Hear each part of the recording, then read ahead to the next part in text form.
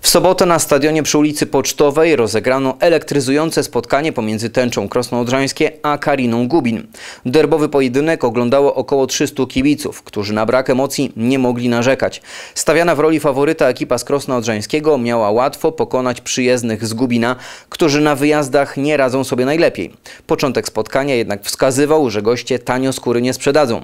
Gubinianie prowadzili 1 do 0. E, Ciężko nam było też, że tak powiem, przebić tam mur obronny e, Kariny. Z tego względu ustawili się e, mocno defensywnie.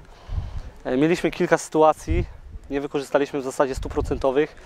E, No niestety odwróciło się to na na naszą niekorzyść. E, Bramkę, którą straciliśmy z kontry, gdzieś błędy w ustawieniu nasze. Natomiast w przerwie powiedzieliśmy sobie kilka e, ważnych rzeczy. Po raz kolejny któryś mecz pokazuje, że, że gramy cierpliwie, konsekwentnie i to przynosi efekty.